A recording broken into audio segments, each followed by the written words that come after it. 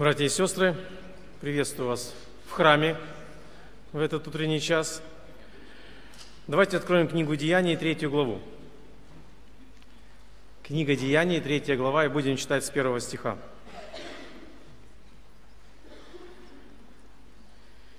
Петр и Иоанн шли вместе в храм в час молитвы девятой. И был человек, хромой от чрева матери его, которого носили и сажали каждый день при дверях храма, называемых красными, просить милостыни у входящих в храм. Он, увидев Петра и Иоанна перед входом в храм, просил у них милостыни. Петр с Иоанном, смотревшись в него, сказал, «Взгляни на нас». И он пристально смотрел на них, надеясь получить от них что-нибудь. Но Петр сказал, «Серебра и золота нет у меня, а что имею, то даю тебе. Во имя Иисуса Христа Назарея встань и ходи». И, взяв его за правую руку, поднял, и вдруг укрепились его ступни и колени. И, вскочив, встал и начал ходить, и вошел с ними в храм, ходя и скача, и хваля Бога. И весь народ видел его ходящим и хвалящим Бога. И узнали его, что это был тот, который сидел у красных дверей храма для милостыни, и исполнились ужаса и изумления от случившегося с ним. Осмелюсь предположить, что для этих двоих, Петра и Иоанна, это был обычный день, один из обычных дней. Они шли в храм помолиться, они шли как-то совершить какой-то акт поклонения Богу. Это было их побуждением их сердца. И наверняка, кроме этого человека, еще были люди возле храма, которые просили милостыню. Это было и как в наши времена, и так и тогда, наверное, это было привычным явлением. Идущий в храм более расположен что-то, чем-то делиться, может быть. И всегда будут те, которые будут ожидать, что мы окажемся теми, с кем поделятся. Этот человек из-за болезни вот таким образом жил, выживал. Но произошло нечто необычное в этот день, нечто ну, неожиданное в этот день. Эти двое, Петр и Иоанн, пришли в храм, имея что отдать. Пришли в храм, скажем так, не с пустыми руками. И они были способны поделиться тем, что имели – Сегодня я предлагаю задуматься вот о чем. Что имею я? И что я с этим делаю? И могу ли я чем-либо делиться?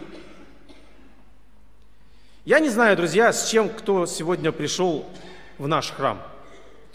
Тем более я не имею представления, есть ли намерение и побуждение у кого-либо чем-либо вообще с кем-либо делиться – но должен заметить следующее, что хотим мы этого или не хотим, мы все равно чем-то поделимся и уже поделились при встрече, при общении, просто присутствуя. Мы что-то с собой принесли. И вот пример Петра и Иоанна показывает нам, что очень неплохо, если то, что мы несем в себе – что этим не стыдно поделиться, что это может быть полезным и нужным тем, кто есть рядом, и нам не будет хотеться это прятать. И самое главное, эти двое показывают нам пример того, что нужно быть готовыми в неожиданных обстоятельствах делиться тем, что для нас ценно. Еще один текст, который я хотел бы предложить нам прочитать, потом мы к, этому, к этой истории из Деяний вернемся. Второй текст записан это второе послание Коринфянам, вторая глава, я прочту с 15 по 16 стихи. Второе Коринфянам, вторая глава, с 15 стиха. Апостол пишет, «Ибо мы Христово благоухание Богу в спасаемых и в погибающих. Для одних запах смертоносный на смерть, а для других запах живительный на жизнь. И кто способен к этому – не правда ли знакомый текст? Давайте попробуем сейчас вот на этот очень знакомый текст, ну, несколько, может быть, внимательнее присмотреться к нему. И первое, что здесь можно, что здесь можно обратить внимание, э, апостол называет нас благоуханием. Он говорит, мы благоухание. И он обращает внимание на то, чей аромат мы должны или можем, или призваны источать. Чей аромат ну, должен нас сопровождать. Если так можно сказать, окружать нас. Чей, друзья? Ответ на поверхности, вы правильно говорите. Христово благоухание. А что же это означает, друзья? А это означает, на мой взгляд, следующее. Христос может, и даже скажу, должен чувствоваться в нас. Мы привыкли говорить виден, слышен, а вот тут чувствоваться как-то на уровне чувств тоже можно проявлять Христа. И согласитесь, хороший аромат обычно не скрывают. Хороший аромат даже сложно скрыть. Вот этот вот образ, о котором здесь идет речь, в послании к Коринфянам, благоухание, Христового благоухания, на мой взгляд, это образ, который имеет очень ну, такой серьезный, глубокий практический смысл. Если, конечно, мы обеспокоены э, тем, что мы с собой являем и чем на самом деле делимся. Согласитесь, мы так устроены, что весьма чутко реагируем на запахи. Мы быстро, точно определяем, нравится нам этот аромат или нет, подходит он нам или нет, раздражает или наоборот привлекает. Если на рынке продавец предлагает нам свежий товар, то мудрый покупатель обязательно, если ну, подразумевает это обстоятельство, попробует обонять, ну, соответствует ли сказанное тому, что я ощущаю, тому, что ну, вот, ну, не обманешь же, не обманешь свои рецепторы. Я почувствую, настолько ли он свеж, насколько об этом мне говорят. И скорее всего никто из нас не, не, не подумает даже приобрести то, о чем говорят хорошо, но что нам не понравилось, когда мы осязали, обоняли запах? То, что источает плохой аромат.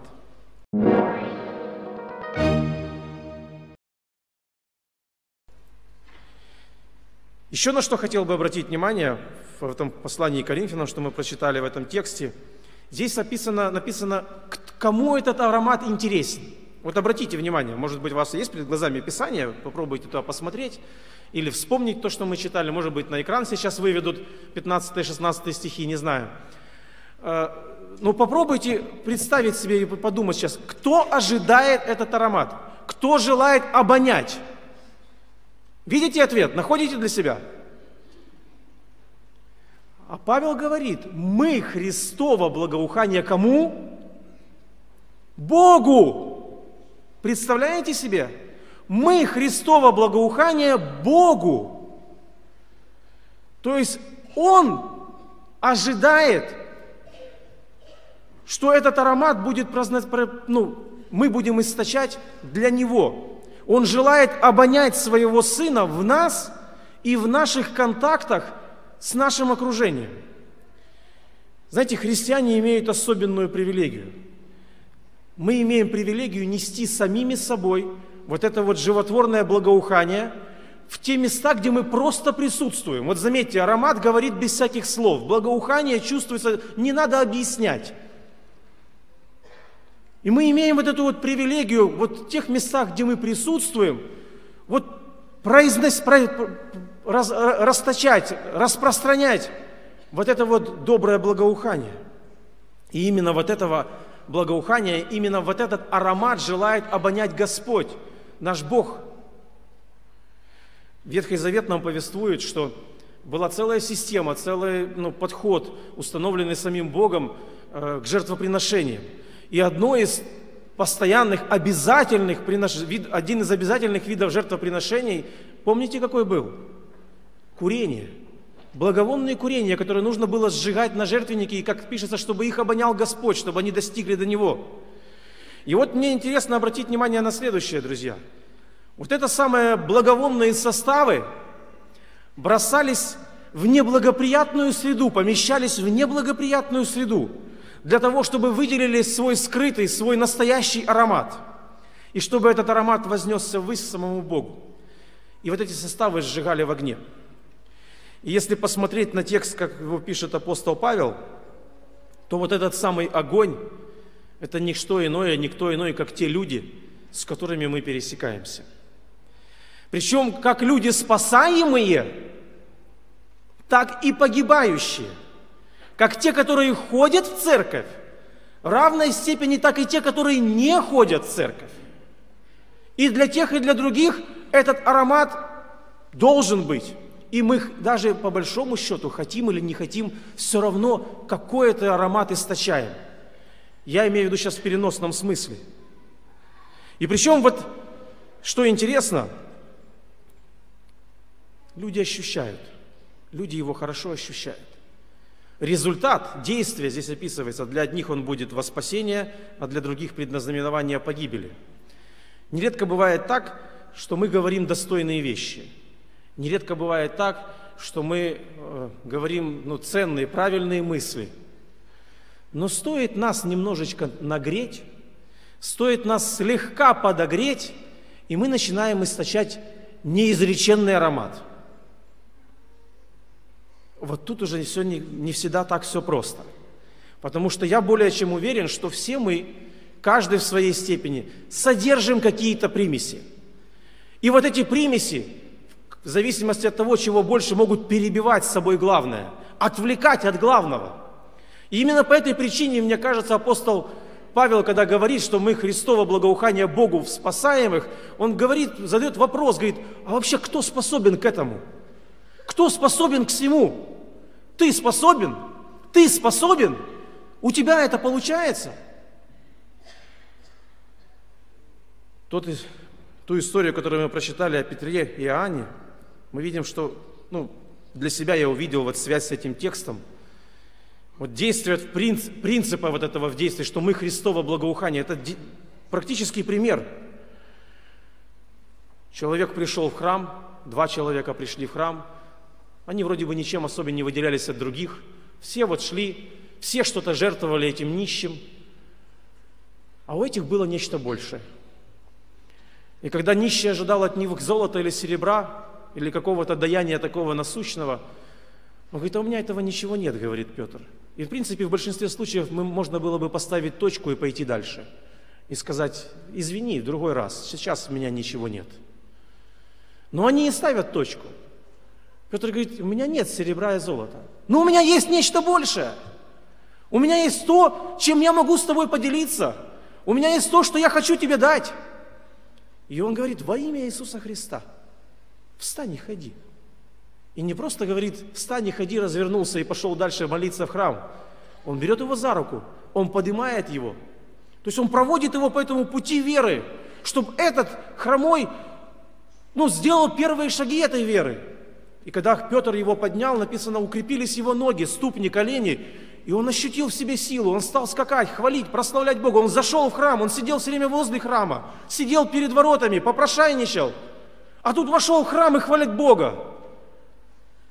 И люди, которые увидели все это происходящее, которые со стороны за этим всем наблюдали, были в ужасе, были в смущении и страхе от того, свидетелей, чего они явились. Они узнали этого человека. Они узнали.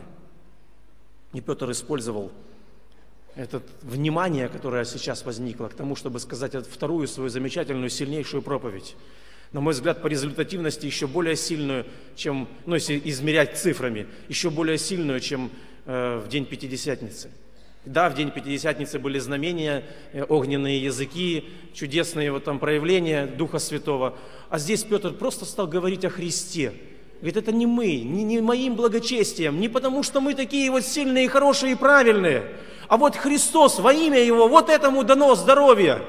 Вера спасла его. И мы читаем, что пять тысяч человек. Это не вся аудитория. Я не знаю, как эта аудитория вообще могла слушать эту проповедь. Как это распространялось без вот таких электронных средств усиления, передачи информации, как в наше время. Но люди слышали и воспринимали. Как-то оно шло, эта информация ширилась по народу. И написано многие, не все, многие, но вот уверовали. Но этих многих было целых пять тысяч человек – Целых пять тысяч человек. И вот для исцеленного вот это вот благоухание, вот то, что отдал Петр, Иоанн, то, что, чем они смогли поделиться, это был аромат во спасение. Это был аромат прикосновения Божьего. Это было настоящее благоухание Христова. Но были и другие люди, те, которые видели, слышали. Кто-то уверовал, как я говорил, а были те, которые недоумевали, ужасались и хотели это прекратить. Хотели, чтобы дальше это не распространялось. И отсюда можно сделать вывод, что уже от реакции слышащего, от реакции обоняющего этот аромат зависит, будет ли он ему во спасение, или он будет для него предзнаменованием погибели. Нам же, думаю, нужно обратить внимание вот на что.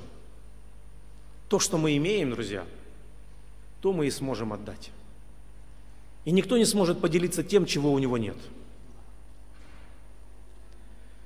Иаков в своем послании написал, 3 глава, 12 стих. «Не может, братья мои, смоковница приносить маслины». Послушайте внимательно эти слова, друзья. «Не может, братья мои, смоковница приносить маслины» или виноградная лоза смоквы. Также и один источник не может изливать соленую и сладкую воду. Христос, это его слова в Евангелии от Матфея, я прочту 12 глава, 35 стих, такое еще сказал. «Добрый человек из доброго сокровища выносит доброе, а злой человек из злого сокровища выносит злое». Слушайте, все определенно, все просто и все ясно. То, что я имею, то я и вы, и вы смогу, с тем и смогу поделиться.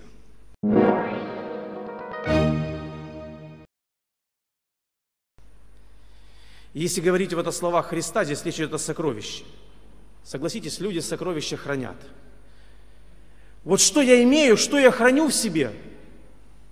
Друзья, вот именно это и делает меня тем, кто я есть на самом деле – в книге Деяний есть еще один интересный пример, я кратко его расскажу, напомню, это книга 8 глава, нам повествует о том, что пришел там Филипп проповедовать, совершал чудеса, исцеления, ну, очень сила Божия явно проявлялась, люди следовали, слушали за Филиппа.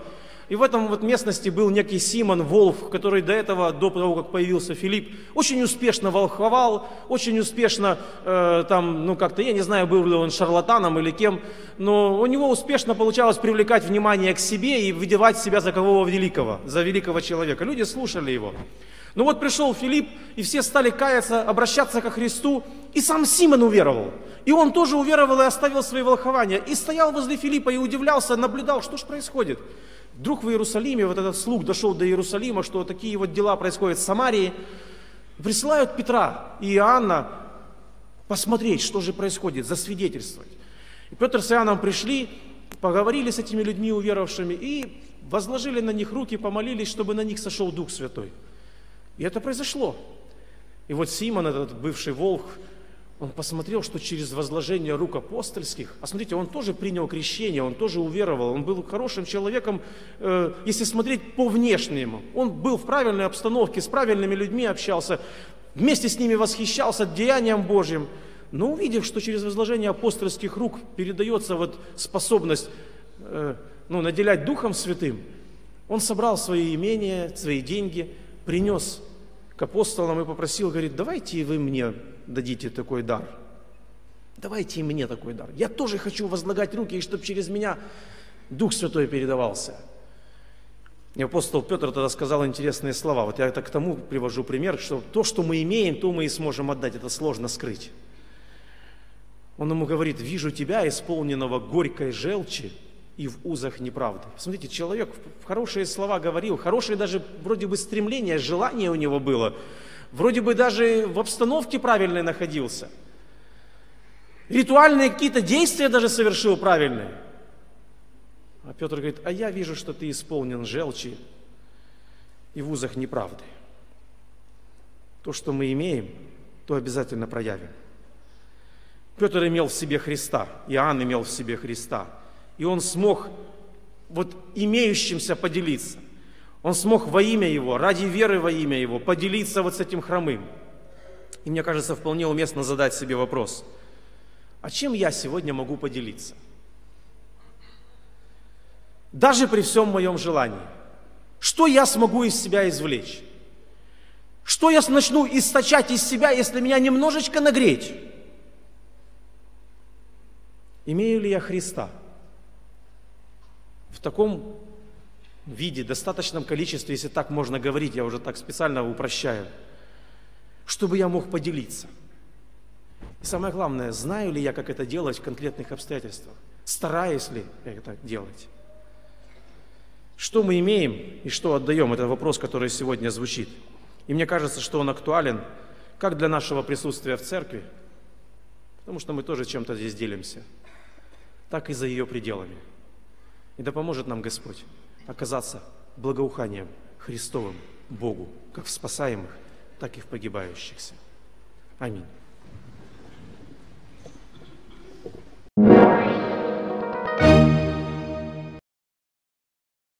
Завершилось богослужение.